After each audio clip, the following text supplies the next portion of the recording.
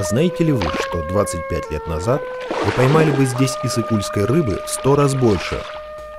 За последние годы количество рыбы в Исыкуле сократилось в несколько раз. Чебак, чебачок, маринка, голый осман стоят на грани исчезновения. Если не сохраним сейчас, то рыба, которая исконно водилась в Исыкуле, просто исчезнет. Подумайте об этом. Сохрани меня. Твой Исыкуль.